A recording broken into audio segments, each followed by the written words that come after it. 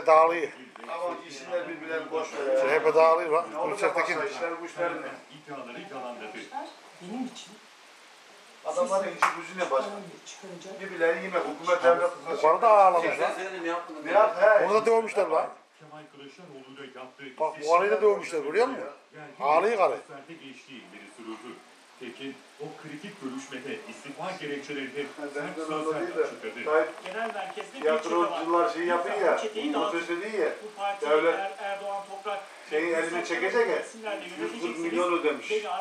Senelik. Geldiği 4 milyon şey değil. Geldi hasla başka bir şey yok. Davalları kesiliyor şeyler. Paraları kesiliyor. Onun için projesi diyor. Söylediklerini Ben anlatayım da. kabul etmiyor dedi. 4 milyon ne gelir hep devlet bir şey.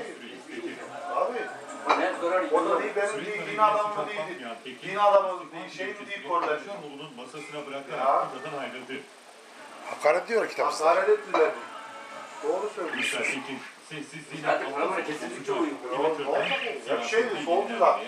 Çoğu sol. Aşağılıklar. Bahar'ın gücüyle yollara çıkmaya devam edeceğim diyen Tekin, kendisini destekleyenlere Cumartesi saat 13.30'da İstanbul Atatürk Havalimanı'nda olacağını duyurdu.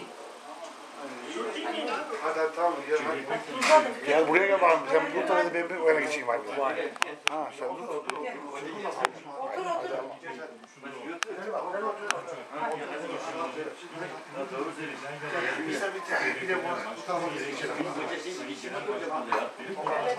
Kar yağmış gibi hava var burada ya. Vallahi ya bura, bura böyle ya burayı Sabah gece